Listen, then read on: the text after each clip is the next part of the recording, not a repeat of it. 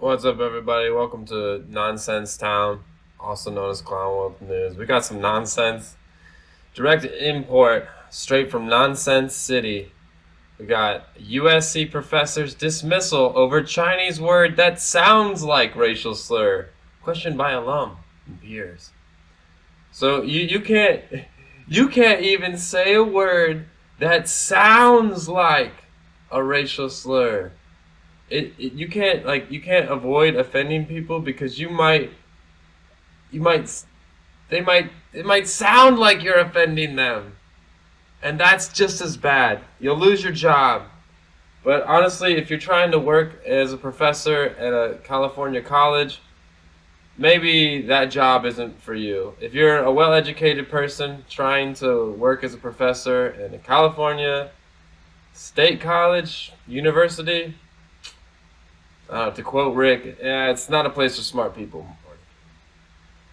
So yeah, the situation occurred August 20th when Marshall School of Business professor Greg Patton, what a racist, was delivering a lecture to his communication for management class, providing them with tips on how to present information effectively.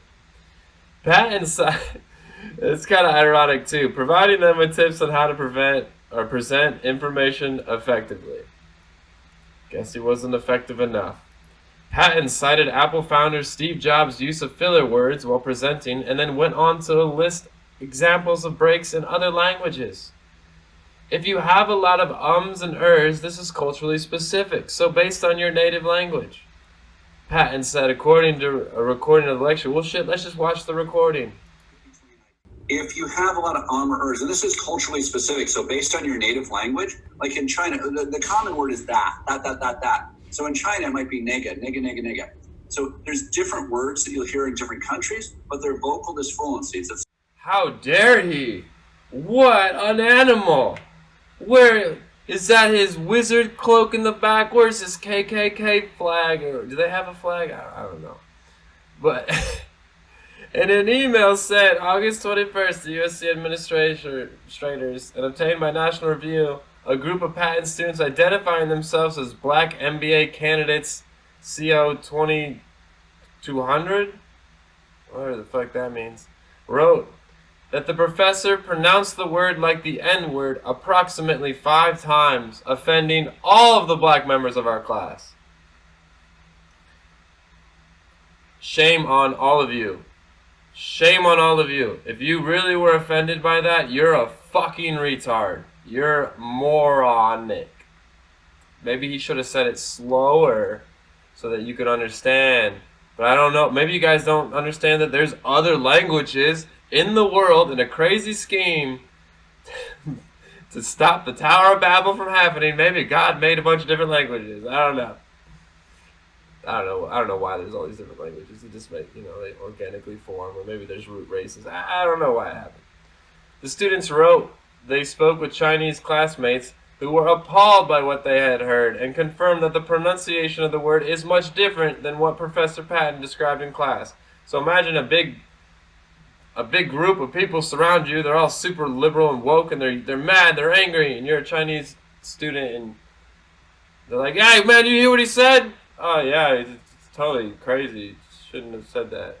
I don't know. Also, it's kind of like they they wrote that they spoke with the Chinese classmates with with Chinese classmates. Unnamed sources. Who are your sources? I want names. Because, yeah, well, let's continue just for a sec. By the following week, Pat had taken a pause from teaching the course with Marshall Dean Geoffrey Garrett announcing the change in an email to students. It is simply unacceptable for faculty to use words in class that can marginalize, hurt, and harm the psychological safety of our students.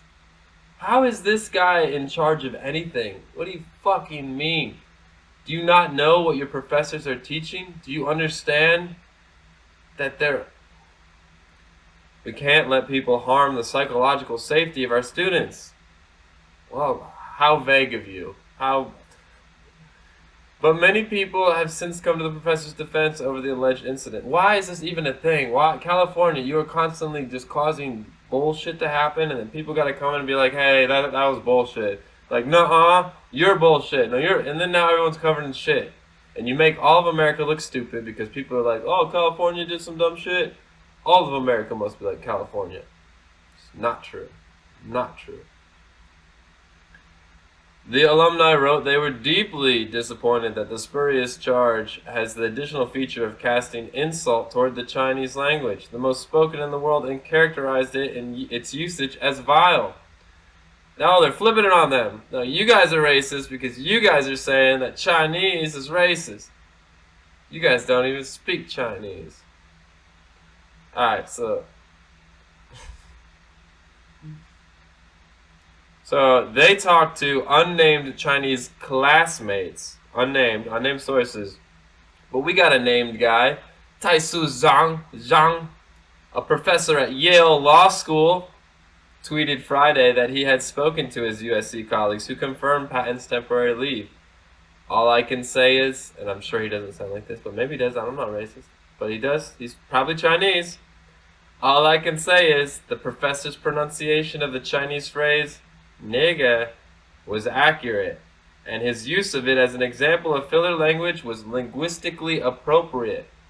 Zhang wrote, It's a very common phrase. Damn, they, these articles just go on and on and on and on. There's just so much bullshit in that. But let's let's just look. The filler word nega can be pronounced both naga and nega. But for this usage, nigga is normally used confusing Chinese word nigga, nigga. Students of Chinese is with the pinyin na and ge. Depending on how you pronounce these two characters, it may not seem very close to the N word, but this isn't the only pronunciation of the word. Nay, ge is another very common pronunciation. Depending on the accent and the speed that this word is said, it can be edging on being indistinguishable from the N word. Now, which, by the way, I'm gonna just throw this out there. Saying nigga is not saying the N word. There is a very there's a reason why the N word with the hard R, why that one doesn't show up in media, rap songs, comedy bits. It doesn't. It's because it's crazy offensive. That one is. But the, the, the amount at which the nigga, the, the common, it means peer, and it's used in that way. The language evolves over time. Saying the hard R is definitely offensive. Literally, the only song I can think of recently that used it was like Bandit by Juice WRLD and whoever whoever else was in that. But yeah, he says hard R in there and he does the rap. Maybe that's why they, they took him out. I don't know we could talk about celebrity deaths all day if we want, but this isn't about that. And this also isn't about the N word meaning peer and how whether or not white people and other people should be allowed to say it and use it, whether it's offensive at all. I feel like if you if people if in the black community really thought it was that offensive, they would stop using it altogether. But it's used so common, it's used so often, and I think when you look at like if a Chinese person says it, it's hilarious. Everybody thinks that's funny. But then a white kid sa- says it, I think that's hilarious too. Sometimes I think it's appropriately used. It's a, it's a word where I've over the years decided like I just don't want to say it anymore. And publicly, at the very least, I'll say it with my friends that I grew up with because it's just like that's just the way we talked. We we saw that's the way other people were talking. I've, I've lived in the hood of Akron for several years. That's just how people talked. It's how we communicated. It's, it's whatever. But again, that's besides the point. The point is California. What the fuck? California. What the fuck? Also, I feel like students at a lot of these colleges in California, they don't care about learning. They just want to get their. They're just like that girl, that 11 year old who wrote that speech. She said she wanted to be famous, but really she just wants to be alive. Like no, that's that's every all these people at these all these students at these colleges. Colleges are weird radical indoctrination mills. They don't want to learn. They just didn't want to do homework. They're like, hey, man, you know what it sounded like he said? Forget nuance. Forget actually having to dig deep and figuring out what he meant and not even what he meant, what he actually said. Because this isn't even one of those cases where it's like, what did he mean to say? No, this is exactly what he said. It's what he meant, and it's not racist. In fact, you're kind of racist for thinking that's racist. There's lots of different angles to look at. it. So, anyways, yeah. Shout out to my patron for sending this to me. I thought this was hilarious, but also par for the course. This is uh, like we know this stuff happens. You eventually language will get to the point where you can't say anything. Everybody will be so offended. They'll just be looking at each other doing sign language, but everything will be a event. Then all that will be like the middle finger. You won't be able to say shit. Is that what we want? Is that the goal? Is that what you want to be when Jesus comes back? Not being able to talk because you're gonna offend him. Uh, whatever. All right, so that wraps this up. Yeah, if you enjoy uh, good, independent journalism and all that, body, check the description out. You do your thing. But what you should do is call your mom, be a good person, stay vigilant, take everything you hear with a grain of salt, exercise and eat right, and all that other good shit.